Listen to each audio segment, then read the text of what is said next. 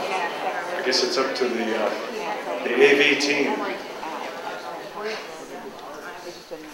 Is it okay, Dan? Okay. All right, my name is Tom Thornton. Yaji Gak Yahatu Asapu. Steve Langdon is my co-chair. We're uh, chairing this session on fisheries, and uh, we've got a number of people presenting, so we're going to get right into it. And there's a little change in the program, but the first presenters are actually Judy Ramos and George Ramos from Yakutat, and they'll be talking about uh, traditional management of salmon in the Yakutat area. So Judy and George.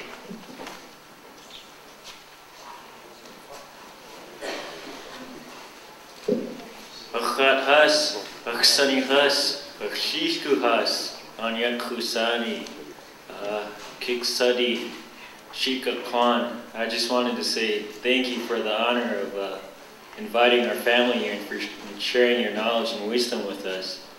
I just wanted to introduce my my aksha, my mother, and my shish, my grandpa. Aksha, da a sock. Yakta Kwan Dach Yeshna Gnech Kwan Tisket. My mother is a raven from the Gnech Kwan, the Copper River clan, from the Tiskit, the Owl House. My grandfather, Uchchahuishu Duasak, Shlukna Khadi, Ishk Hit, a uh, my grandfather's name is Wushcha He's from the Shlugnakhadi, the Coho Salmon clan, and he's from the Khishit, the Frog House, and his Chish.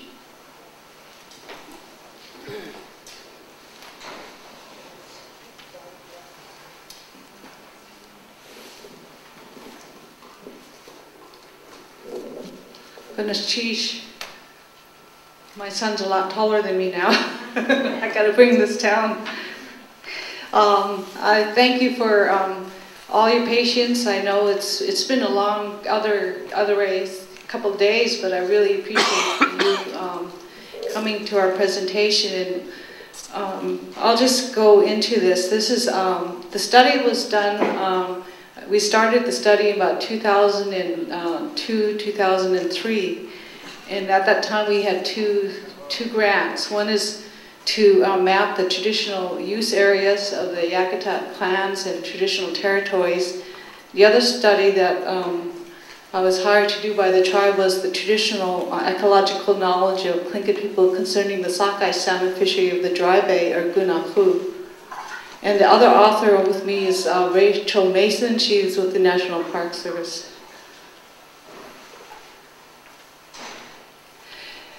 What happened was um, this area was called the East Alsek River, and all of a sudden there was a great decline in the sockeye salmon return.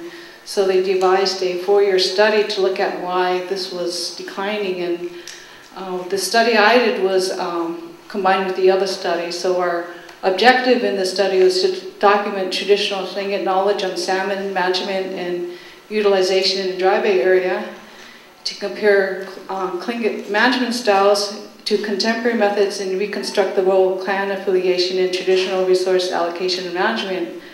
And what we did is the literature review, interview with tribal elders, and we produced a annotated GIS map and a final report. And the first thing I did, of course, is um, I know that this whole study was not uh, traditional, so what I did is I wrote a letter to um, Dr. De Laguna, who's understood the Tlingit people and also understood the Western science. And she wrote me a beautiful letter, um, and she says, of course I know who you are, you're the grandchild of uh, Olaf and Abraham.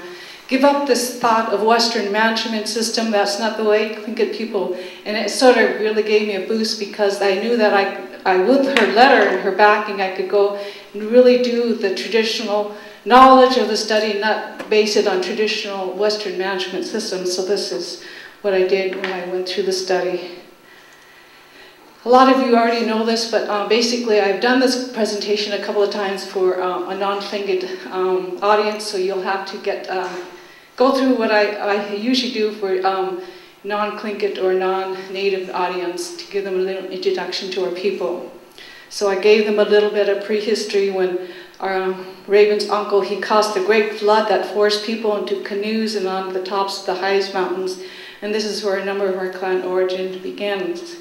On the western side, of course, there's the On Your Knees Cave, and uh, Dr. Michael Krauss looks at the uh, Tlingit language separation proto-Athabascan some 46,000 years ago. Now, you guys all know this, but remember I'm doing this for a non-Tlingit audience. uh, people are matrilineal, they follow the mother's lineage. We live in a uh, geographic area known as Kwan, made out of different clans.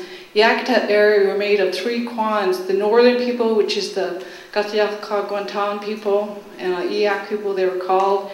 My area, which is the uh, Yakutat Kwan people, and then uh, which are composed of the my clan, the Gane the Tekwedi, and then the Gunaku which is the Dry Bay people, which are made up of um, uh, three other clans. So we're, we're divided into uh, exogamous moieties, raven and eagle, and then the Yukon people, which are the crows and the wolf. And I, I my, uh, I spent a couple years living in Canada, the Yukon, and uh, I really appreciate um, all the um, uh, um, people coming down, the Tlingit people, you know, and we do share a lot of the history and stories. And the Alsek area, of course, goes up into the Yukon area, and so we have a long history of uh, inter-migration and stories in that area. So each of these clans are divided into houses, and we are separated into three classes, aristocrats, commoners, and slaves. Now the pictures on there, of course, are, the top picture is um, La Perouse at Lituya Bay, and the second picture on bottom is uh, Malaspina at um, Port Mulgrave, which is a whole other story, of course. Dry Bay area, when I first came, um, got my first bachelor's degree in anthropology, my first assignment was to do a, um, some subsistence um, research in the Dry Bay area. And when I went, the first thing when I did is when I talked to the elders, they would give me these long stories about the mythologies and things like that. And here I was supposed to be doing subsistence mapping. It had nothing to do with what I was supposed to be doing in my job. And I went back to my bosses. I said, I can't do this, you know because this has nothing to do with what I'm supposed to be doing. I'm supposed to be mapping, trapping in berry areas, and they always give me the, the elders always give me these mythology stories. Uh, it was a real clash between the two um, thoughts there. But the yeah, uh, Dry Bay area has a lot of uh, historical and cultural significance. This is where Raven opened the box of daylight, where he pulled ashore the house or canoe filled with animals. My dad was referring to that area uh, when he was talking about the, the bungee cord, if you guys were listening to that story earlier. Bear Island is the whale that Raven flew out of. Here, Raven tricked the king salmon into coming ashore. Here is where Raven threw away his wife's sewing basket and a big king salmon stomach. The upper Alsek is the Shangukedi, where the Shangukedi Dewoy was left behind by accident and rescued by the Thunderbirds. This is the house crest, that's in the picture there. This has a lot of really interesting geology there. Um, this is, for our stories, is represented by the pole under which the old woman underneath shakes when she's hungry. And so it's uh, located at the um, Gulf of Alaska. It is the delta of the Alsek River. The ground in this area has been rebounding at astounding rate, uh, faster than any other place on Earth. A village on the Tatshenshini Alasac disappeared when an ice dam gave away, releasing Lake Alasac and a volume of water six times that of the Amazon. This story is recorded in our oral history, of course, and some of the villages that used to be along this river were totally wiped out and flooded out to the sea, and it separated those people into different clans. And that's a whole different story again. In uh, 1958, this earthquake centered at Bay measured 8.3. Now the top picture is the sand blows that were created by these and then this bottom picture shows where the Alsek uh, Lowell Glacier closed off the Alsek Lake and, be, and it became Lake Alsek.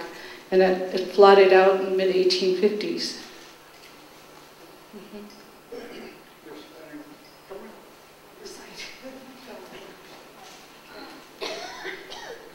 I just wanted to mention, uh, you can see where the lower glacier blocked off the top Kasihini and the Alsa.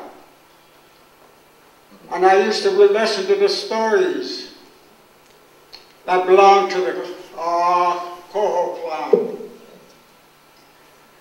What happened is, one day, the people down in the lower dry bay, which is our part of our land as the Coho clan, were there. And that morning when they got up, the river was rising. Well, they didn't think too much of it, and I guess it's like stopping at one of these valleys or lowlands, and then when the rain fills up, it starts pouring on the upper part of it, a big flood starts coming down. So this is what happened. And I used to hear the story when Dry Bay flooded. He and Hakawu walked, the water broke, and uh, part of the clan, part of the Coho clan, saved themselves to toward the dry bay, as you see it there on St. Elias Mountain. Part of them went right into the Gulf of Alaska, walked down, and some of them saved themselves to the east side. the ones that saved themselves to the east side moved down to Lituya Bay. And it's my understanding that they changed their name. And one of them stayed on that little island, which La Perouse uh, named, and they called themselves Katkaayi. And the ones that moved further down are called Akdeitan. And for this reason, their names, their history, their songs are, them, are the same as ours from the Yakutat area. We are one people. The houses that were built, seven houses that I know of in the Coho clan area, Kusaich we call it, on the Akwe River. Some of them were rebuilt here in Sitka. The Ganahit, which was going to be called the Kikchahit, Yahit, Tan Tahit, they were rebuilt here in Sitka. So, the history of all of this reverts back to a small place, a river right outside of the Dry Bay called uh, uh, uh, Akwe. And we call the big village, we call it Kutsera. And they always used to tell her when they're telling the story, there were so many people in Dry Bay that the ground used to shake when they were walking around. And the way, way I heard it is Kozineti on. And so I just want to put that in. Uh, I'll never have a daughter that can stand up here and tell you all the stories because I haven't told her all the stories yet. This is just a brief um, look at the different clans. There's, um, base, this is after the flood. These are the ones that were left here after this flood, that event that he talked about. There's the Ravens, their uh, their house, main house is the Kanupra house. The Hlunachati, they had those houses that um, my dad mentioned. There's stories behind that, we're skipping all that. Jock uh, houses. Chungukati or Dagistana had the Thunderbird house there, and the Kagwantan had the box house there. Um, did you want to talk about this part? Like I said, the uh, Tequili, which migrated up on the outside, they call them Ayata'ayi Tequili. They came from Tongass up to Yakutat. And as you can see, this picture here, the gentleman, big, he's the chief of the Tequili, and the lady is his wife, also as grandfather and grandmother of Judy. But what I'd like you to, remember about this picture is that blanket in the back shows the Ankland River, which I was talking about, that they settled in. That is the deed to our river. The same as the deed is of the Mount Edgecombe, which I saw in uh, Angoon. This is the we are deed.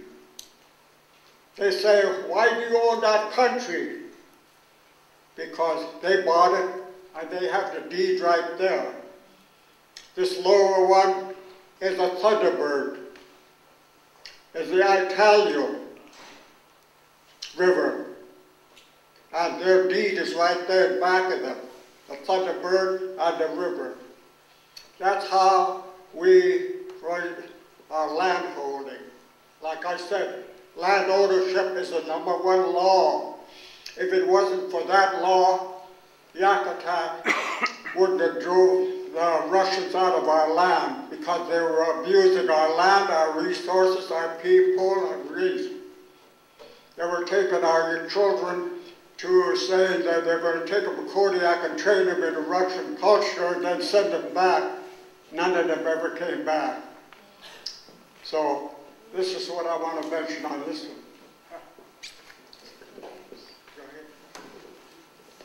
So the, this um, clan leader's duty was to protect the clan's hunting and fishing territories. He determined when and where, with what weapons his people and others might hunt or fish with, how many animals each man might take. The house leader, along with the men and women council, help rule areas where people can hunt and fish. The clan leader determines when they're going to hunt, and just like Fish and Game says, what area they're going to hunt. And if his law is violated, well, they'll break up your canoe, your spears, and stuff, and kick you out of there. Especially if you go into somebody else's land. So this is uh, what happened in two or two areas of uh, Yakutat. And I think she'll get to a, a slide of that, and uh, I'll explain there what happened. This next one is um, the clan leaders determined where the weirs and chops were to be placed and who might spear or gaff fish. The chief watched the salmon runs, and where there were two fish going up, he would order the nets taken down for a day or two. This picture is from the mouth of the Lost River, where you can see the remnants of some of the fish steaks there. And um, this this whole um, the paper just on the Lost River is really gonna would, would take a whole history, but um, we have huge box traps, um, remnants that were found there in the mud, and these are found in Myra. I don't know if Myra's here. Myra. Uh, this is when we went down and took a look and found so much um, remnants of all these weirs and traps there. Uh, Situk River used to be traditionally managed, and they had a white flag which they would, the chief would raise at the Situk River when he wanted the fishing stopped. The same thing at Dry Bay at John Williams Creek. Um, he would stop and manage the fishing up to the time that the Fish and Game took over. Our, tra- our traditional rules that were handed down to us, once the salmon comes to the mouth of the river, you never make any noise. Cookshaw, they call it.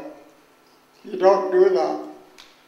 The salmon are going to have the noise and they're going to go out and into another river. You never bother the salmon until they come inside of the stream and up a little ways.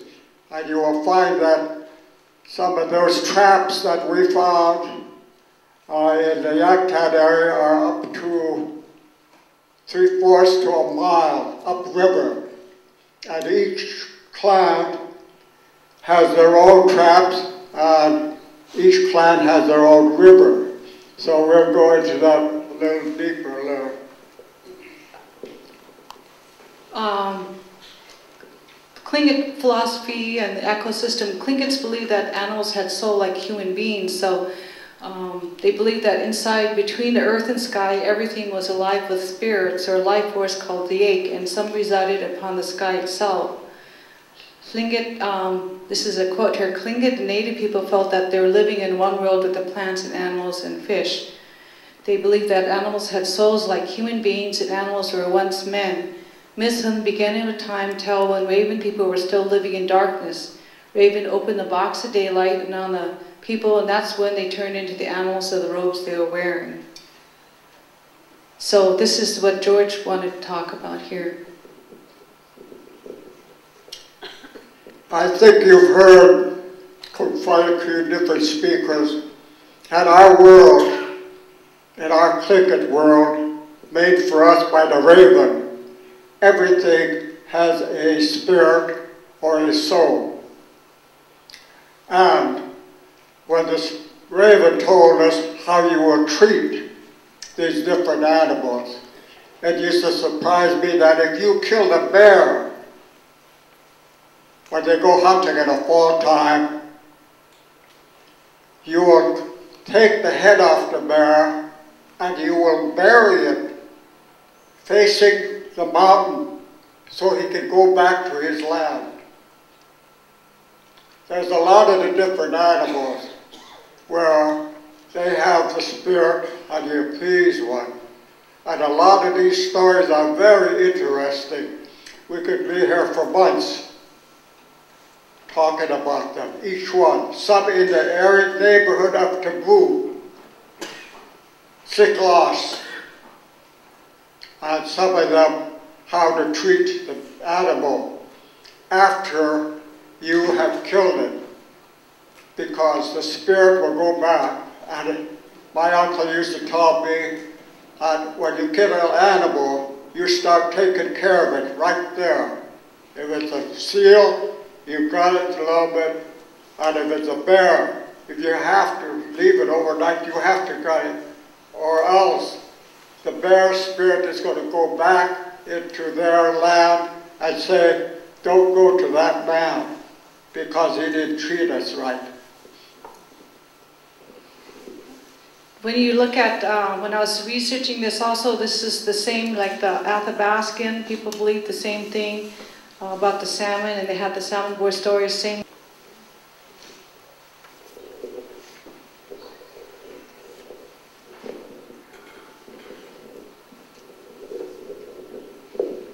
Thank you very much. I really appreciate the chance to talk.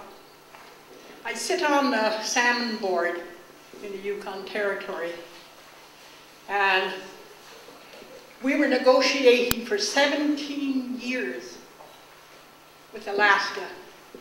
We're trying to get an agreement on the salmon. We finally got it, and I think it was 203. We finally got an agreement.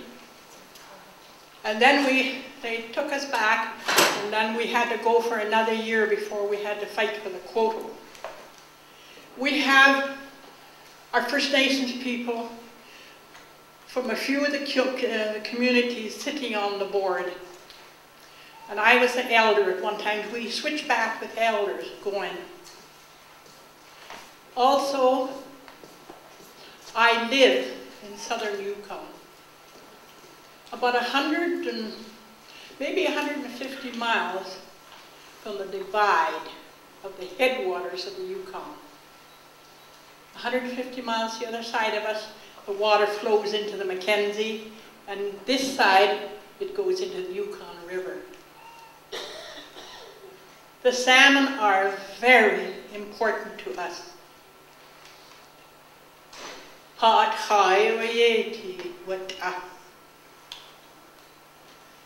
They start off to come up to us in their spawning grounds in June. They start up the Yukon River. And they come all the way along. We don't commercial fish. They commercial fish at Dawson City, and that's the only place.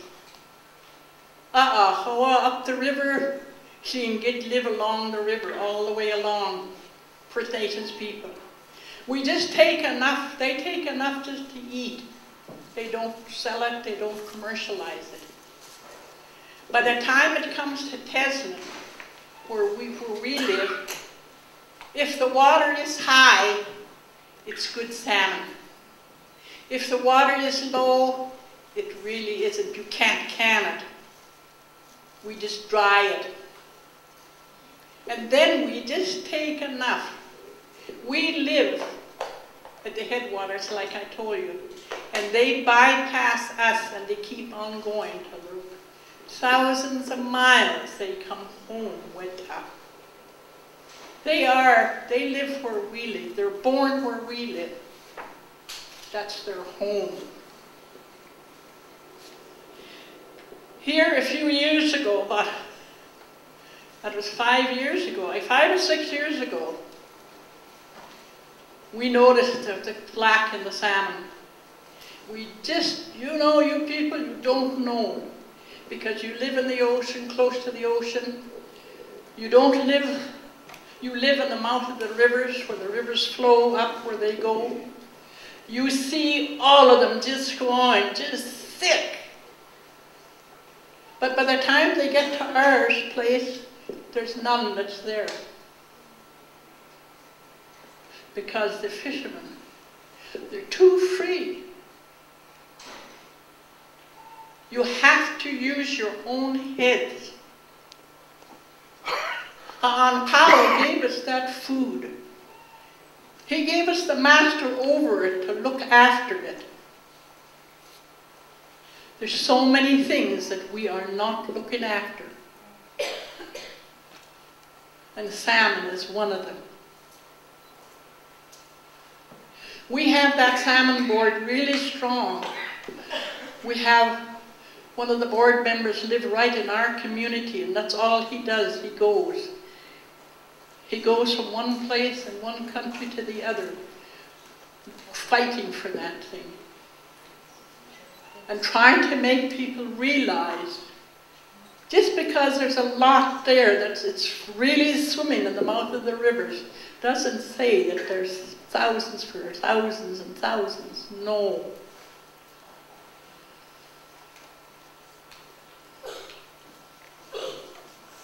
I ask you people to really think. Just take what you really truly need and let the rest go. We as people at Tasman, we see it. There's a great story with that thing, with every animal that the, uh, put on this earth. In Tasman, we live by a great big lake. It's 90, 89 miles long, but the biggest part's in BC. And that's where they come up, them salmon. And you can tell, it's the end of July by the time they come to us. Last week in July and then in August. And that's the only time you see the winds blowing on our lake. It blows like that all of a sudden, just big waves. All of a sudden they see that wind come this way. Huh, you see them water, the waves come hit one another. And the Tlingit people in our village, hey, you see that wind? Yeah. Somebody come. We know there's the salmon. They, our Tlingit people, our storytellers, he comes up on the lake and he's tired after all that long journey. Oh, at the hest on the lake. No current. And he looks across and he wants to go across. He turns around and he puts up his sail at his fins. And he wishes the wind to blow him. And he just floats up and that wind just picks him up and takes him over. But in the meantime, another salmon is over there and he wants to come this way. And he does, and that's when that wind goes like that on our lake. That's how we know they're there. And that's the only time of the year is when that salmon come. The end of July, August and September. The rest of the time, that lake is calm. It doesn't gust like that. We really have a fight on our hands with the fishermen on the Yukon River. In Anchorage, we go down there. It really is. They open with their salmon with everybody. Look into it yourself. The tourists can come and they can. We see tourists coming and they come from Seattle all over and they canned fish there and then they don't pay for license or nothing. It's camp and the campus fishing grounds. Now, I read in the paper before I came home, they're going to run boats up the Taku River to take the ore out of that Telsaquan mine. The salmon, what is going to happen to the salmon? Who's going to fight for them? That's up to each and every one of you people right here to stop that. Look into it. Maybe it's not going to hurt. I don't know. But that's what I read in the paper. They're going to, from that Telsaquan mine, they're going to bring them boats to, to Juneau, bringing that ore out of there. That's where we get our salmon, good salmon. We can't eat the ones that come up the Yukon River because they're so thin. It's just like chewing on a willow when you, you dry it. We are fighting as the Taku River people for that not to happen. That's where we get our salmon. It's close to you guys. Look into it. Don't let it happen. And if it can, and if they don't hurt the salmon, go ahead. Go ahead. But it's something for you to look into. It's very close to all of our hearts. I thank you for listening to me. It was through our First Nations people when we negotiated that time in Fairbanks. It was our native people, the white people all left us. We, they opened the meeting and they talked, and then that head lawyers, they said, well, let's just leave these First Nation people to get acquainted. That was the best thing they ever did. And they went out the door, and as soon as they went out the door, their door closed, everybody said, Hi, you guys. We were all native people from along the river in different communities. We weren't strangers no more. And we made, we had a settlement and after 17 years. Now they take so many fish, we're fighting about the quota. Give it lots of thought, you guys. Gwnnelltis a chretis a chydig e a chwmgi. Gwnnelltis i i chod et hogwyd a chdad hyn. A gwnnelltis. Thank you.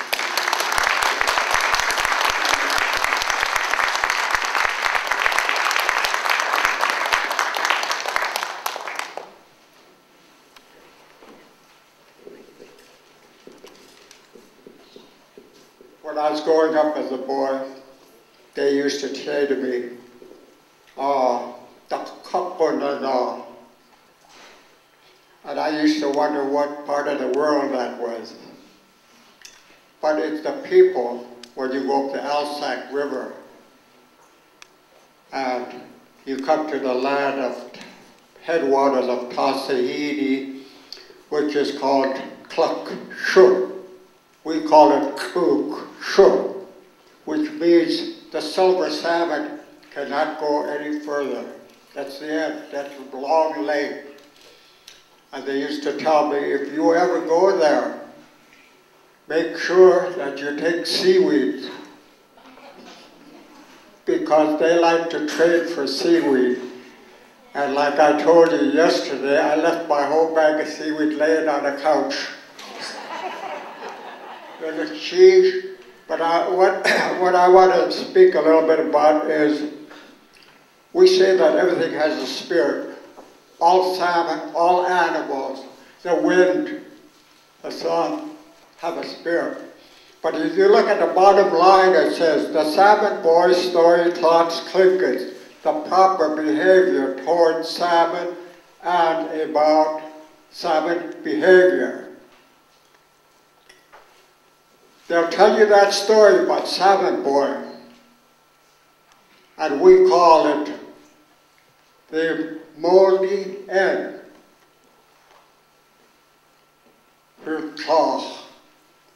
Because when the boy was snaring seagulls, what you do is you take a string and you tie a stick right in the middle of the stick. And then you take this stick and put it into a piece of fish and you throw it out. And if the seagull bites it, then you yank on it.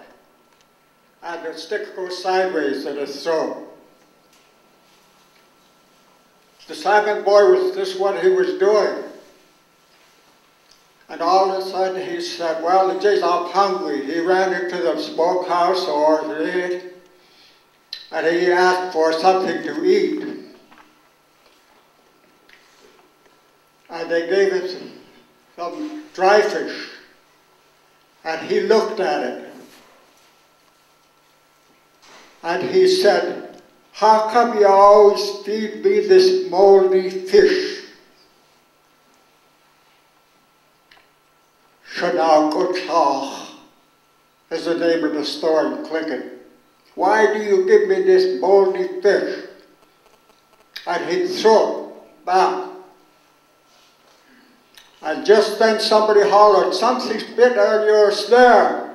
He started running after it. And the seagull was flying out. And he grabbed that string. He's going to pull it back. But he went right down in the water. There's a lot more to the story, but they tell young people, they say that do not curse the salmon. And all he said was, why he threw it? Why do you give me this moldy salmon? And so this is where the story was. There's a lot more to it. We'd be sitting there for another two hours. For what Pearl was saying, I was thinking all of you know someone that can help, maybe write letters to your village council, ANB, um, Tlingit Haida, your representatives, anyone you know, maybe write a letter saying that we need to conserve the Yukon salmon. This other one um, is basically a subsistence now, what I wanted to emphasize here is we not only utilized salmon, but we utilized everything within our land, we were seasonal people. We migrated to different areas. We had a broad knowledge of our area where salmon is and what species they were. Like in our area, people, uh, we have um, mainly the sockeye, the coho, um, those are the ones, and the king salmon are the ones that we really use a lot. And we had all different methods of um, harvesting these. Certain salmon stored well. Now I know we had sockeye and king, but people used a lot of the coho because coho was uh, easy to dry and stored well and didn't mold um, through the whole winter. That's basically fall. In the Yakutat era, the fall, when the people would go to their um, fall fishing area, they would harvest three to five hundred pounds of salmon. And so it was a, a very large part of their diet. On subsistence. One time I went up to the river, Anklin River, my grandfather's land. And as we were entering there, there was a man named Dr. Longenbaugh, which I went up with, very famous in Sitka. He wanted to go hunting with me. We met a boat coming down, and when I looked into this boat, there was a calf moose. There was a set of antlers, and there was two hindquarters. And I thought it was very funny that this man had left most of the moose up there from his hindquarters. So we went up river hunting. And the way you hunt moose in our area, you climb a tree and look back on a flat desert. And you can try to call up a moose. I'm pretty sure that the people from up there can grunt pretty good like a moose. I, I learned it. But a story, I climbed a tree, a good area, and as I was climbing a tree, a bear started running. And doctor was coming up behind me. I said, Doctor, there's a bear running. Watch. And he said, Yes, there is. There's another one running the other way. And I thought that was very odd. And just after that, there was a clump of trees back further, and the wolf started hollering. Ooh. Somebody told me that the hair can stand up on the back of your head. Well, mine did, because there is nothing. Maybe there's three wolves there, but it sounds like there's a hundred of them, because their voice is so loud and strong. And then the doctor called me. He said, the bears covered up something down here. And when I got down there, there was a bull moose with the antlers cut off. There was a cow with the hindquarters cut off. The doctor took pictures of it and says we're telling a Fish and Game. We went to the Fish and Game office and we told him exactly what happened and what we saw. And he sat back on his chair and he said, well, it's probably the local boys I got so mad, only two times I got that mad, I guess. Steve was coming out of my ears both sides. And I says, local boys do not eat antlers. So I wanted to pass that on, what can happen. We don't kill anything until we're going to use it. The, this next slide shows the, the box trap found in the Lost River, and uh, it's really unique because it's about, how long is it? Do you remember, Myra? It's about 40 feet long? Two what? Over two meters. It's a really, they're really huge box traps, and they, they had inner ones when they, they would lift it out. Uh, This is the household harvest when we did the survey in NACTA for 2000. Um, our most preferred species, so 51% of our household use set nets to harvest mostly sockeye and chinook. 37% of our household use rod and reel to catch mostly cohos. 29% uh, removed it from commercial set. The average household here harvests about 68.7 salmon with a total weight of 394 pounds. About 72% of our households took salmon from the Situk River.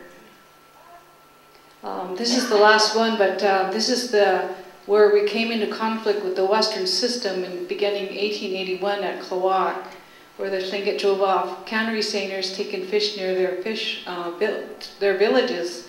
This is the um, insignia. This is when the Navy was there. Nicholson was sent in at their request, given their chief's official papers recognizing their status. In 1890, the Hootsnulu protested white fishing at, uh, how do you say that? Still? Sitkoh? Sitkoh Bay. Uh, insignia Robert Coots was sent with six Marines and an interpreter to explain the whites' point of view and arrest any Indian who might interfere with them. In 1897, the uh, Tlingit Orthodox chiefs sent a petition to the president asking for help in stopping the Baranof Packing Company from taking away their bays, streams, and lagoons and throwing bars and traps across the streams. In 1888, federal legislation outlawed Aboriginal traps and weirs, and a year later, commercial fish traps were permitted. By 1927, there were 799 traps in Alaska, and in that total, there were 575 traps in southeastern Alaska. They were allowed to fish night and day, seven days a week. Nearly all the traps were owned by whites or canneries owned by whites. So this is um, here. Traditional Tlingit management of salmon was based on a territorial management by clans. Clan leaders with their council had the authority and responsibility to direct and manage resources. Exploitation, waste, and disrespect of salmon was taboo and believed to be offensive to the spirit of the salmon. Tlingits utilized different locations and fishing methods based on the species of salmon they were harvesting. Traditional methods of management is different from contemporary methods where fishing sites are now privately owned, allocation is by permit, and the state is divided into regulatory areas instead of by plant territories. So this is the thank you is to the elders of Yakutat, Dr. De Laguna, Wayne Howell, Morgan Howard, Catherine Moncrief, Bob Schroeder, and the Southeast Regional Subsistence Committee. I'd like to tell you, subsistence. Subsistence to us is living off the land, as they call it. But we crave that food. My daughter and her sister sitting up there or someplace here, they went to Germany going to school. And when they write home, they said, of all things, she says, would you send us some dry fish and crackers? Uh, that's what they requested because that's what they like Irish to eat. Subsistence. Now we have to fight tooth and nails to retain some of our food, which is our way of life. And every once in a while, somebody gets the high horse and they says, well, you can't do this, you can't shoot the whale, you can't shoot the walrus, you can't shoot the sea lions, you can't shoot the uh, moose, like uh, Harcross. And that made me angry. And I was talking to a lawyer, and he was talking that same line. Well, we've got to regulate it, we've got to serve it. You're not regulating moose, whale, walrus, you are regulating people. Let's look at this. And so I told him, let's back up a little bit. Can you imagine, try and imagine what would happen if all of a sudden you said, you Italians cannot eat spaghetti? The Chinamen, you people cannot eat rice? You would have a trouble, a lot of trouble. And that is the same way all across the United States, from Red Cloud, Cochise, Geronimo, Sitting Bull, Chief Joseph, like Yakutat did away with the Russians, we were fighting for our way of life, same as those people that crossed the United States. I just want to leave that with you because in order to look into the future, as you people will do, you have to look back. History has a way of repeating itself. And when you try to tell the younger people, this is what's going to happen, this is what, a lot of young people look at you and say, oh, that's old stuff. That's what they say. That's old stuff.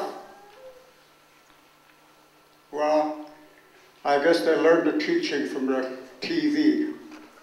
I talk pretty strong, talk pretty loud because the old stuff is what I used to sit around the fire. And I son Herman, we determined that if you don't learn these things and you try to live by the culture, him and I would probably say, ooh,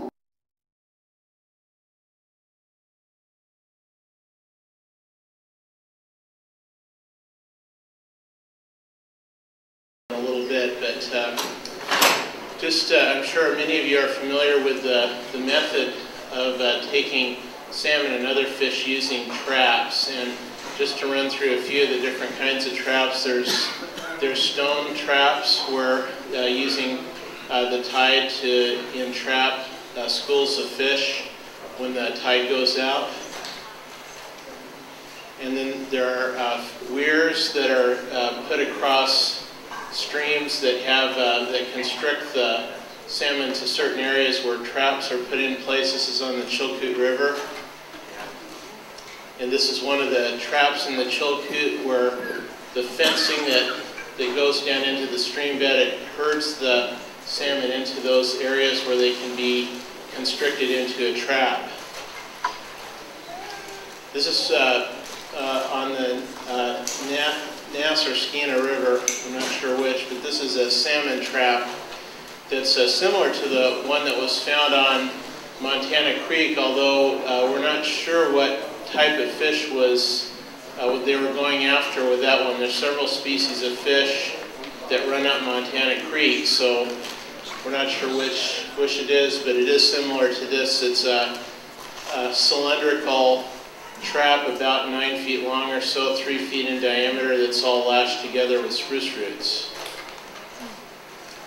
There are a few uh, traps that were collected in the late 1800s that um, are similar to the one that was found on Montana Creek. This is a hooligan trap from, uh, I believe that it's uh, the Tahltan people that's uh, similar, although instead of having hoops, they've taken a, a piece and spiraled it down the length of the trap, and uh, that, that's the way they make the traps on the Yukon River as well.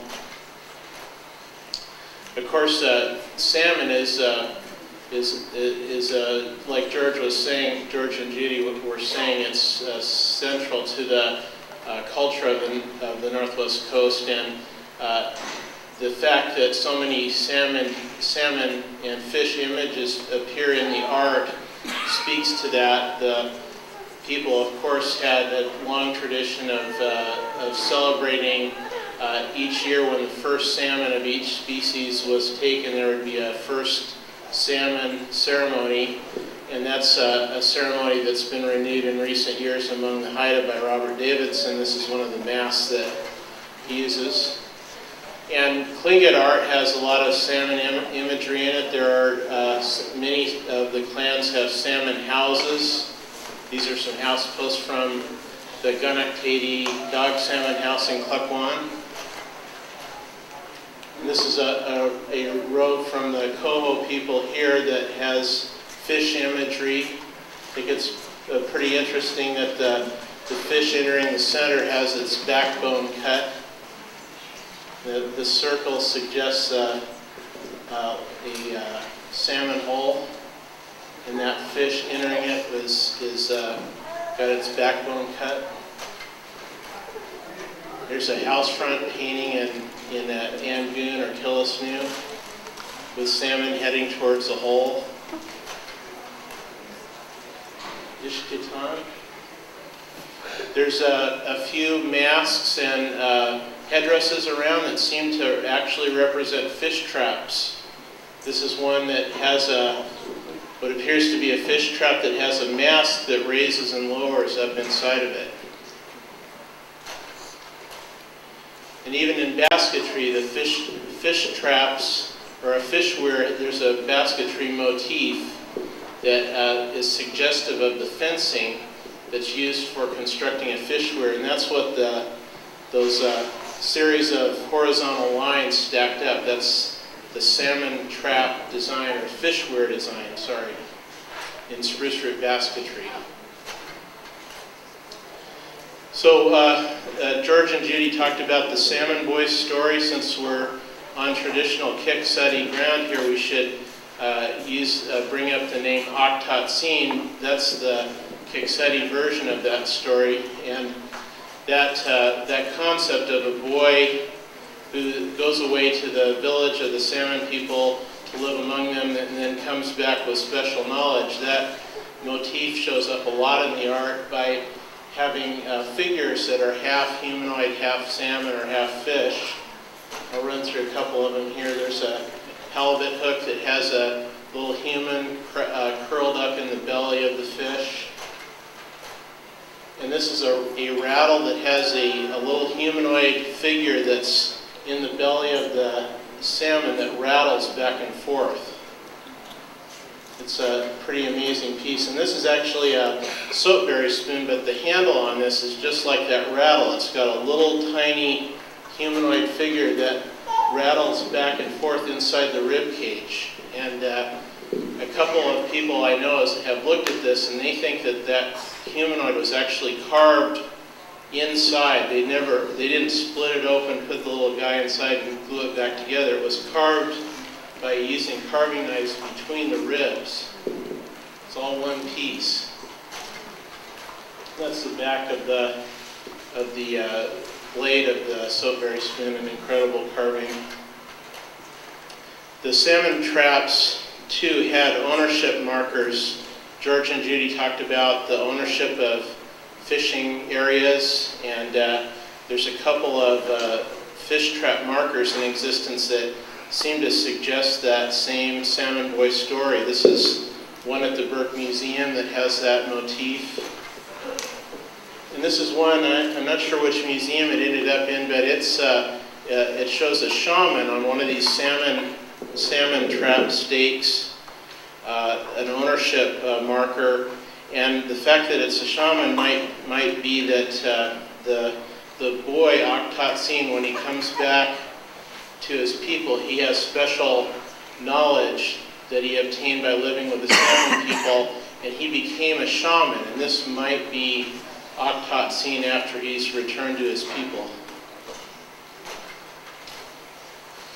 So, uh, getting back to the Montana Creek trap in about 1990, um, a fisherman reported uh, that he was out at the mouth of Montana Creek and saw what he thought was a fish, fish trap or fish weir that was eroding out of the bank. And he contacted Wally Olson, and Wally called me, and we went out there, and sure enough, there was what we thought was fencing that was washing out of the bank, and it was, uh, you could tell it was hand carved, and there was actually spruce root lashing left on it. It was right where this bank was collapsing. And uh, about a week later, we went out there, and a huge part of it had been exposed, and a lot of the spruce root lashing had been ripped away. So we had to take immediate action. We took uh, this part out of the, the mud. It had been covered over with mud, and as soon as we lifted that out, we could see there was more underneath, and we knew we had an entire fish trap at that point. So about a year later, with, after a lot of fundraising and, and a lot of volunteer effort, we got an excavation together that was led by Bob Betts and John Loring to actually uh, excavate that trap. It was half underwater, so they had to build a dam of sandbags and pump water out from behind it to expose the trap. And this is uh, the trap when it was first emerging. That's the cone that went in the large end of the trap. And this is it when it was mostly uncovered. And it had to be kept wet constantly because the, the wood and the root was so old that uh, if it was allowed to dry out before it could be treated, it would just turn to powder. So they had to keep it wet the whole time. And what, what they were trying to do is preserve as much of this lashing as possible. That's some of the original lashing before they tried to lift that out of the ground. And even though it was still intact, it no longer had any strength to it. So you couldn't just grab the sides of the trap and lift it up. You had to get something underneath it. So it took a bunch of people working about three weeks to figure out how to do that. They made a stretcher for it. They worked webbing underneath it, lifted it out, brought it back to the museum, and we put it in polyethylene glycol and let it soak in there for about a year. And that allows the, the root and the wood to be preserved once you let it dry out. If you just let it dry out, it wouldn't hold up. So this was a necessary step. So after that happened, then uh, all of the the roots that had been wrapped in gauze to protect it had to be unwrapped. It was a really delicate operation. Ellen Carrlee at the State Museum and uh, several other people helped to carefully unwrap the gauze and try to keep those roots intact. It was uh, quite a a meticulous process, but it was pretty exciting to see that original root emerge from underneath the gauze. There were places where it had to be reinforced though, so we had to uh, make those kind of rusty brown color reinforcements to go over the original lashing just to try to keep it intact. It was really fragile. So finally, the last step was taking the trap a few blocks from the State Museum to the City Museum where it was going to go on display. And this, uh, this is, it's being lifted into a truck here, and that's about a $10,000 mount that the trap is on for any of you interested in the museum side of things.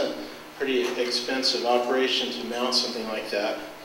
But uh, from the moment we were uh, involved in, in the, the trap, Jan and I were just totally captivated by the idea of traps and by the meaning of traps, and we always thought we'd like to, to make one ourselves, and we got the chance to do that. Actually, we've done two now, and it takes a while to accumulate the material, so and I wanted to turn it over to Jan here to briefly talk about the process of getting the roots for such a thing. Uh, this is a good area for uh, spruce root gathering. Um, we want to do it in the spring, and fall is, is a nice time too. Um, Mary Lou King and I, after they dug the fish trap up, we um, we always had big roots on our mind. Before we were digging mostly smaller roots, and uh, so every time we'd go out, we'd see a nice large root, um, which we, which is what you would use on a fish trap um, we would say, this is for the fish trap that we're going to make. We never knew when or how we were going to do it, but ever since they dug it up, we decided that that is what we needed to do, was to gather roots. And so it was spoken of on every root gathering trip. This is a, a root for a fish trap. So uh, um, without her help, um, the traps that we've made wouldn't, wouldn't be. We'd still be out there digging. So um, it's a long process, and um, you can't dig anywhere. You have to dig where it's nice and sandy, where the roots grow straight. You need nice straight roots, and you need to uh, split them very carefully and uh, dry them and store them. So we had boxes of uh, large roots waiting for our fish trap. So um, this is a, an area where we went. And here's a, a root. This, the roots that we would use would be larger than that you split them in half and then you split the halves in half and then you just keep splitting them down to their usable size and uh, this is a small one with the outer bark on it. You can see the red and you can see that it's in soil and not in a rocky area so that it's kind of limiting where you can dig roots. this is Mary Lou. She's happy. She's found some pretty nice roots there. You got to get down on your hands and knees and uh, and dig with a digging stick. And um, it's sunny and it's spring. You can see not everything is, the snow is gone, but the, all the spring growth isn't quite up yet.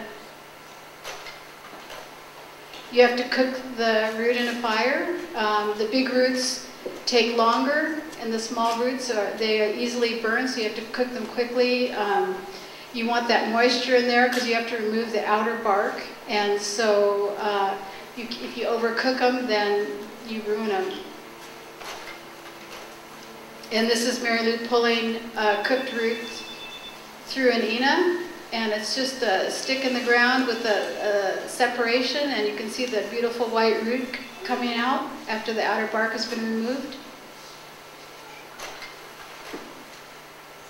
This is Ida Kadashan splitting a root. She came to visit uh, a class that we have at the university, and um, she was so generous to share her uh, her knowledge, and uh, she's got a beautiful spruce root basket with her uh, roots in it and all her uh, weaving tools, and she's splitting a beautiful white root. It's a small root that would be for a basket, not a not a tool or a fish trap.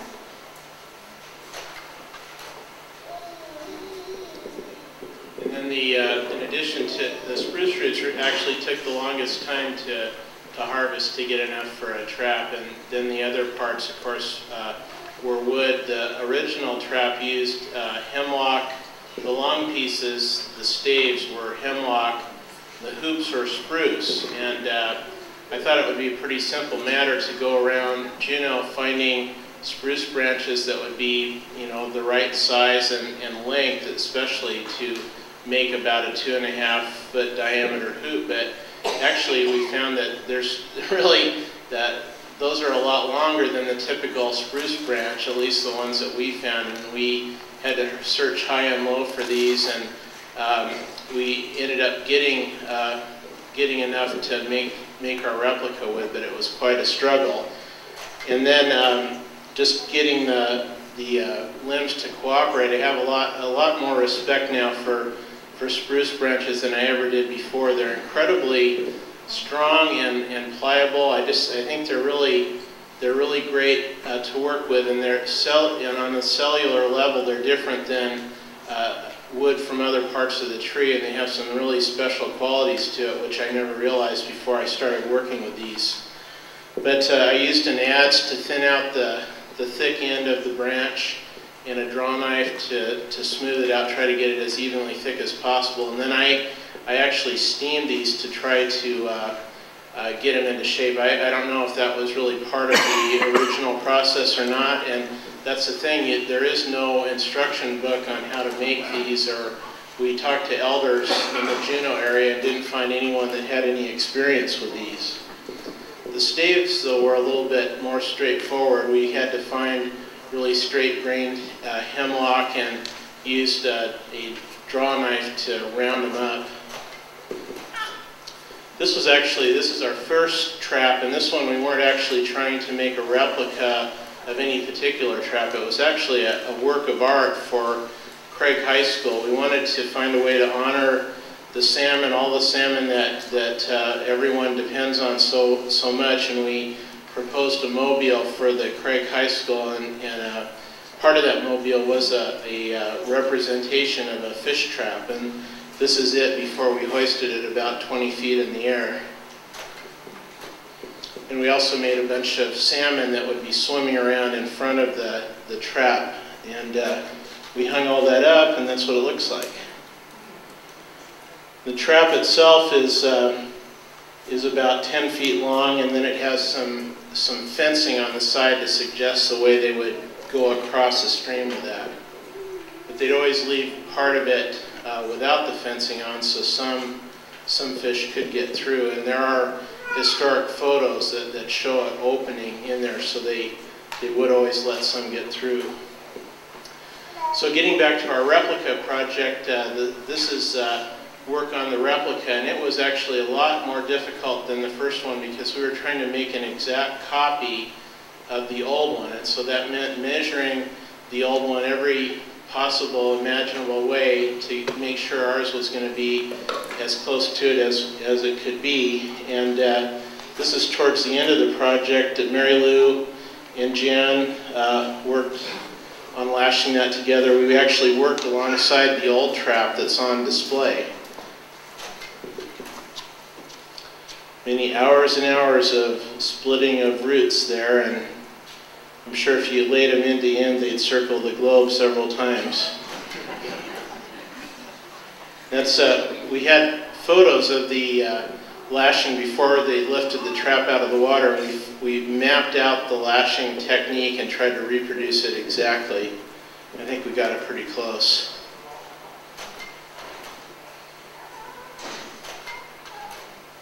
And uh, we had school groups there get into the act. They got to uh, try to split spruce roots and uh, learn about the construction process. We even got our grandkids involved in it.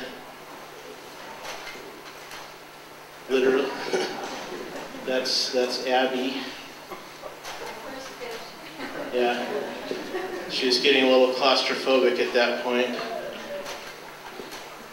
And this is uh, the uh, close to the final uh, day of construction. We had to make the uh, the funnel piece to go on the end, but uh, we got that done and it's now hanging above the, the exhibit case of the old one. But uh, we had a lot of uh, fun with the project. We also learned a lot and there's no, no replacement for actually to really understand uh, a, method, a fishing method like this and a, a technology. There's no, no uh, substitute for actually trying it yourself, and you start to realize things that you never would have uh, imagined originally. I think that the effort that goes into making them, you would treasure your fish trap and you would take very good care of it. So I think they probably repaired them and took very good care of them because it's an incredible amount of work. And I'm sure they, they had a lot of information that we didn't have. We kind of had to wing it on our own. And uh, but it was a lot of work, but a lot of fun. And it was it was. Uh, uh, a once in a lifetime chance to do something like that. So, thank you. Thank you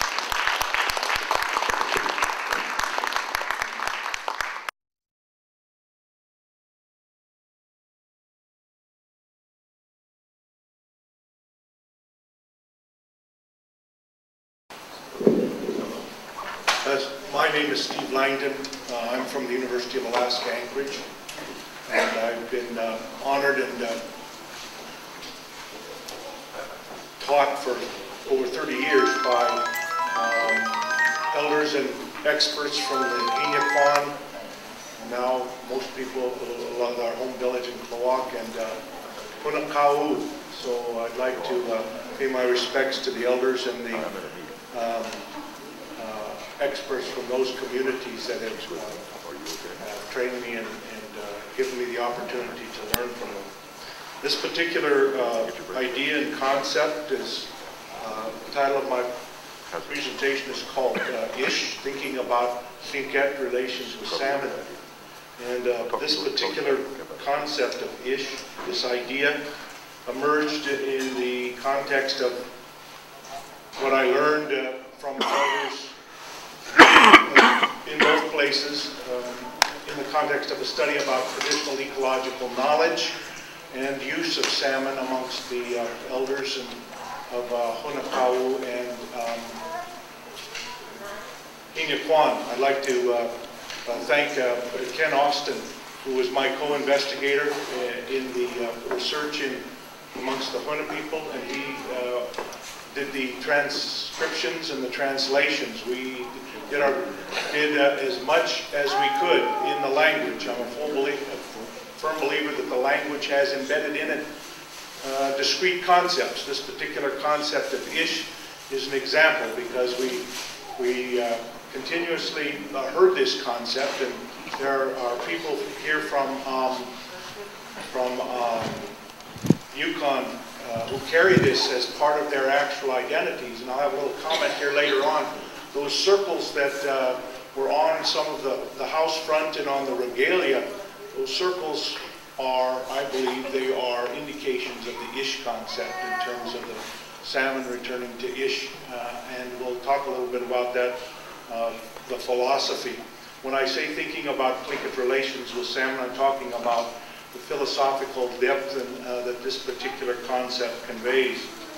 Uh, and uh, so those of you with quick eyes saw the uh, salmon fin down in the uh, front of that image, and this means that below the water there is much to be learned. Below the surface there is much to be learned, but you have to you have to persevere and you have to think deeply with the concepts that you're given.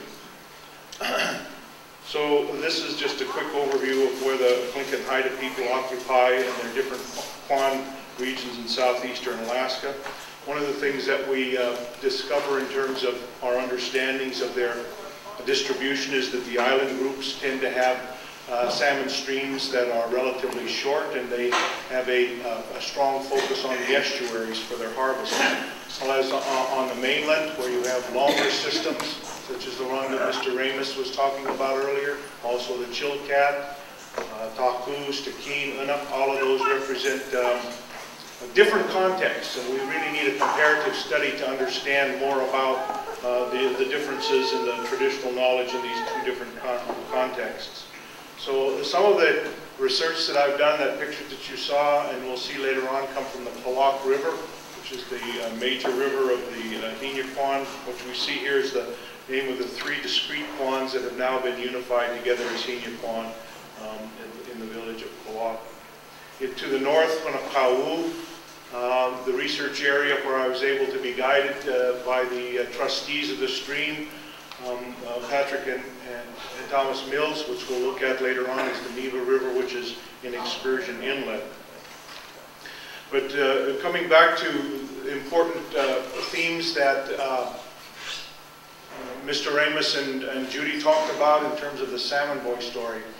In uh, academia, we call this something, we we refer to this as a philosophical concept as- of of what we call relational cosmology. Um, And in this particular philosophical system, uh, ontology, the nature of being, and this is that all existence, as George spoke, is composed of willful, sentient beings, beings and forces. And what's, what's crucial then to the maintenance of all of us collectively in this system is respect that underlies our uh, collective similarities. And our interdependence is absolutely crucial. And we heard, heard this before. This is very central. The interdependence of all of the forms in this relational system. The continuity of our joint existence depends upon these principles of mutual benefit and reciprocal obligation. The Salmon story demonstrates that very powerfully. Humans must conduct appropriate ritual acts with the salmon bones after they have processed and consumed them to ensure that they will be rejuvenated and have the opportunity to return. So the relational cosmology is a cyclical cosmology of return, use and return. And that's why relations and respect are fundamental. They have to return back to those who respect them. That's crucial to it. And this is the story that was mentioned before of how the Tlingit youth was saved from drowning by the salmon people. And he was taught uh, the behavior that it was necessary. And he realized that the salmon were people just as himself. And this comes from uh, Cyril Peck's book in his uh, text. Now, uh, the Salmon Boy is a mythic charter is what I refer to that as. A mythic charter means that it establishes the core principles and relationships between understandings about salmon on the one hand, and it teaches an interesting point about respect by using uh, an inversion example. That is, the lack of respect that the moldy boy shows is in turn what leads to the understanding. And very interestingly, in many of the uh, uh, interviews that we did with elders, there was often an account as they grew, as they sometimes referred to becoming aware of moments in which perhaps they violated this principle and they were brought the principle of respect towards salmon. And they recall very well the lessons that they were taught at that point. That's what they turn back to in terms of how that resonates and reverberates in their experiences and how they bring it forward. And I want to make a, a brief comment about this because it, this particular image, you saw it earlier in, uh, in Steve Henrikson's, uh, this is what's called a salmon stake, okay? Uh, and this, uh, this is not a, a piece of atu that is danced with. This is not an object that sits on the wall. It is an object that sits on the fish trap in the water so that sticks out above the, the water's level. Now one of the very important themes that comes back and is a part of Tlingit behavior in their relationships with salmon is as salmon return. Of course, all of us who are able to be in the wonderful coastal environment know that salmon do what when they come to their streams? They're jumping. They're jumping out of the water. And that's in the Salmon Boy story. In the Salmon Boy story, he stands up. But because he was a salmon, he was in fact jumping. And he was told by the uh, chief of the salmon people to look to see where you're going. So he's jumping to look. And when those jumps occur, salmon people immediately speak to them with loud cries to recognize them, to tell them they're on their way home. That's one of the important principles of relationship, is acknowledgement of your presence. But this object is also present, so that when the fish jump out of the water, they see this. And the other piece that he showed as well of the shaman, both of those two pieces as, as uh, stake traps, they're mnemonic devices that convey information to the jumping salmon. We know how we are to treat you. We understand the story that we have been taught. And this object is our sign to you that we know. But here is another deeper layer to that relationship. This object isn't just put together. It's not just merely crafted in, a, in an offhand way to be a message. It is an investment of deep artistic, emotional, and spiritual power. And it is that part of Tlingit relations that is a true demonstration of respect. And this is how the philosophy then of relational cosmology, the understanding we can see flowing through all of these behaviors and acts as people intersect with salmon in their various different dimensions. So it's that thing that I want us to remember as we go forward and talk about uh, the Ish as a special place. Uh, the Mythic Charter tells us that respect is crucial. Salmon are to be understood as people. They are, first of all, sentient, just like ourselves. They have feelings. Second of all, they are attentive. They're paying attention to what we do and how they are treated. Third, they are volitional. They will be the ones that make the choices about which places they will return. And that will be based on the manner in which they're treated, the way in which respect is demonstrated to them. So this is what an ish is, and I want to thank uh, uh, Wanda Culp of, of uh, uh who made this particular sketch. And uh, we're, we're, we're in a stream system, mostly. Sometimes the mouth of the stream uh, can have an ish as well. Uh, but streams, as you know, are composed of all kinds of different habitats. There are riffle habitats where it's very, very shallow. The water is shallow and you can see the fish as they move up. There are rocky boulder contexts in which the fish have to negotiate around uh, to be able to move up the stream. And there are falls that they have to leap up, and that's where their power is necessary to move above. And then there are these places, and this is what an ish is. An ish is a deep, quiet, slow-moving pool where salmon congregate. And this is what Tlingit see. They see all of those habitats, and they see salmon come to the ish. And in the ish, that is the place in which they congregate. And they come back. So the ish then refers, we were able to hear the different dimensions in the elders this term is not translatable into English. You never heard this term brought forth in an English. It always appears as ish even when the sentence structure is English.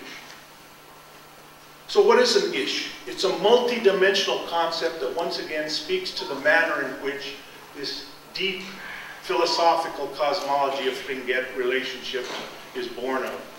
It's woven throughout cultural practice.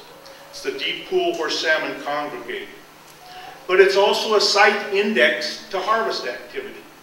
We were told by uh, Huna Elder uh, Sam Hamlin that when he went out with his grandfathers to streams and in the spring, in the uh, summer, to go when they were going to go fish, his grandfather would get off the boat and he would go up the creek. And he would look for the ish. And he would see if the ish was full of fish. Because only if the ish was full of fish was the time right for there to be harvest of fish. So it's a site index to harvest activity. It has to be full of fish. During spawning time, later on as the fish are moving up, it's a place of rest. And this resounds very powerfully in Tlingit thought because of the understanding that the salmon, as they're getting ready to spawn, are poised on the point of life and into the next domain. So this is a time of rest and recuperation before they move further up. It's also a harvesting location. Issues are good places to harvest with gaffs or spoons or um, spears, which we'll see momentarily. They're oftentimes spawning locations because underlying them you will find the appropriate gravels, the redds for the salmon. It is also, I discovered, a site of modification just as we learned earlier today about clam terraces, and as I've been able to study through the years with the Huna people to see the intertidal stone fish traps, um, this is a site of modification as well, built upon that relational principle. It is also a location of philosophical contemplation, which we'll come to at the end. Now, Ish, in its multidimensionality, have names. Uh, George Ramos, was not here before, when the elders, uh, the, and I want to here um, commend uh, Dr. Rosita Worl, who brought, brought together the uh, traditional um, Tlingit Elders Council to discuss this concept when it was brought forward. Uh, and George Ramos named, gave, gave names for the specific issues that exist in the Yakutat environment. So they are named phenomena. They're not just a generic ish. They exist as discrete named entities.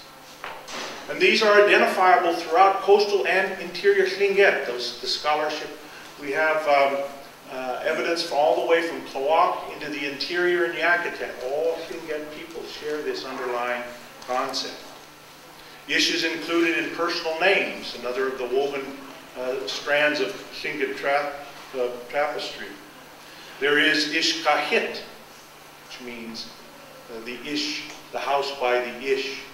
And we also have uh, the Ishkahitan, where the people from um, the interior who have carried that name with them, and it is a part of their direct and identifiable uh, identities. So once again, the Ish has all of these particular kinds of contributions. It is, as we see in the top, this deep hole. And I would argue that it also, what you saw this, on the house front painting, I would suggest to Steve Henrikson that it's not the hole in the trap. The circle stands for the ish, where the salmon will congregate, where they will recuperate. In the, amongst the southern Tlingit, they use the spear to capture the uh, salmon at the ish. And this is a, a, a, wonderful picture of the spear in action. If it'll come up, there it is. Wonderful young man uh, deploying the spear, and you can see the way in which it's, uh, it's distinctive. The spear means that it is thrown at the fish. In that sense, uh, the southern Tlingit are different uh, from northern Tlingit, who use uh, a gaff hook. And here we see uh, forms of gaff hooks. These are designed for different size fish.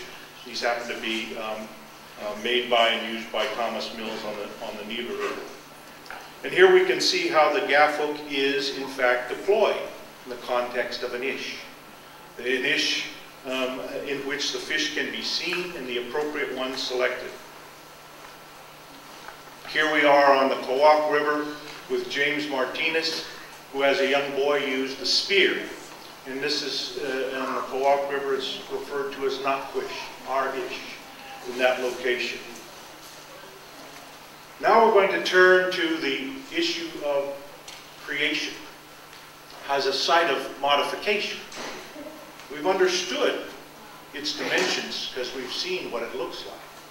And what we see here is a, a phenomenon that I've referred to as streamscaping, in which uh, the stones, as you can see elsewhere in the um, throughout the stream, take on that boulder-like patterning but here, what the trustees on the Neva River have done is that they have rearranged and created this semicircular pool. And if you look at those rocks, you see they have lots of moss on them. They weren't put there yesterday. And so this has been created uh, to accomplish multiple things. It creates an ish, it creates a gaffing habitat, and it creates a spawning habitat. All of those uh, can be accomplished. This is another ish on the excursion river. Now you might say and look at it and say, well, gee, that's a beautiful natural ish. But as I stood and observed this particular site, uh, Patrick Mills came to me and he said, you know, we're not the first ones to live on this river. And that immediately alerted me to the quite regular construction of this. This is a linearly constructed falls.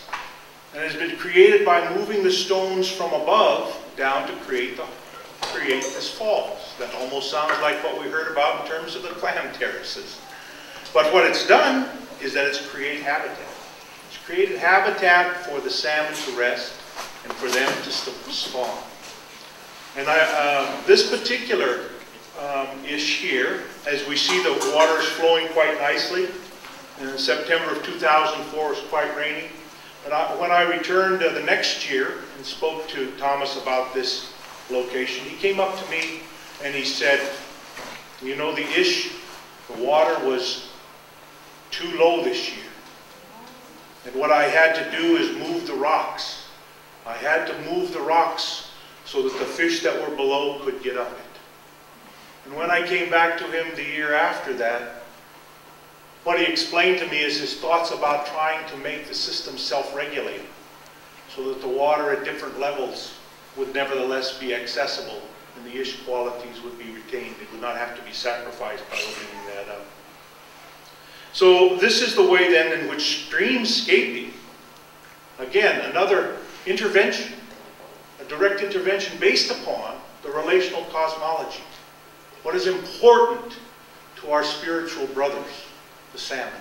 What do they appreciate? What do they enjoy? And it's the ish. And so, in the context of the traditional scholars coming together and discussing, George Ramos giving names, um, various different individuals, Clarence Jackson talking about the ish uh, that sits behind um, the village of Kake. Uh, Walter Soboleff, then he, he wrote the following statement. He gave the following statement in Tlingit, which has been translated. There were those who were knowledgeable about all kinds of subjects. This thing named Ish was almost as if it were human, and it was spoken to in that way, this Ish. This is how they valued this resource. It was as if their life depended on it, so they treated it with respect. Because they got their food from this place, is why they would speak to it. There was pride, there was honor given to the Ish.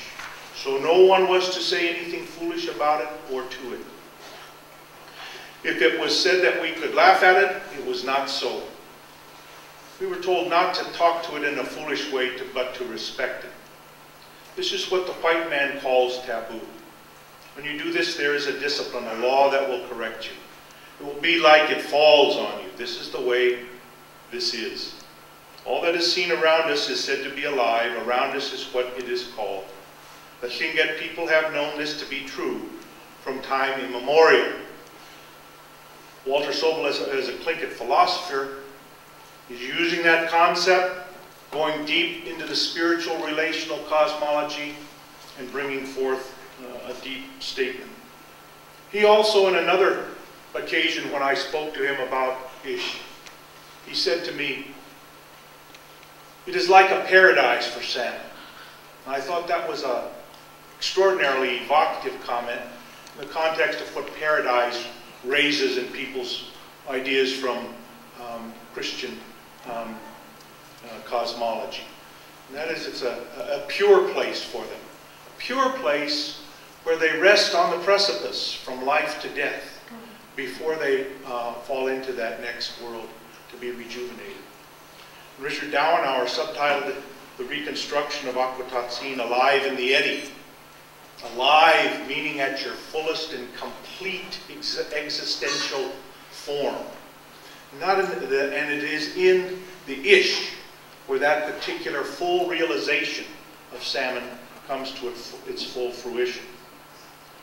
Um, here we have Patrick Mills enjoying fresh caught coho salmon, uh, the cheeks and the jaw, uh, from the ish and the trustee relationship over many generations in the Neva River, the benefits of relational cosmological practice with salmon, and the joy it brings to those who uh, have the opportunity to do it, cannot be replaced. Cannot be replaced. Um, the report that uh, uh, on the uh, traditional knowledge and harvesting of salmon by Una Inya Tlingit is available from um, uh, the gentleman on the left, and uh, he indicated that he would uh, he would be sure to provide people with copies of that if they so wish. I'd like to acknowledge the elders and experts in Klawock and Huna for their wisdom and their patience. I'd like to thank Thomas Mills for his guidance on the Neva River.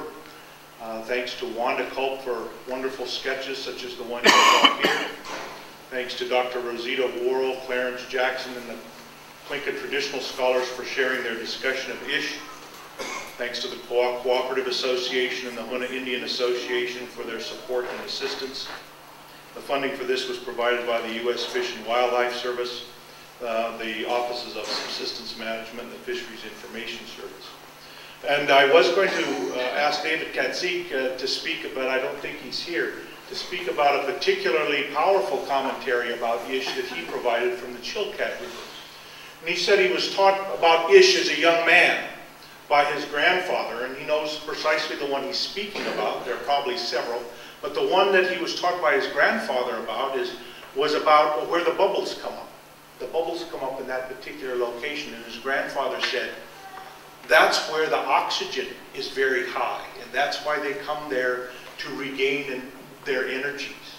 So there is, uh, across the entire landscape, Ish has an enormous uh, contribution to the manner in which Tlingit relate to salmon. And I'd like to thank all of those uh, who provided this information. And thank you.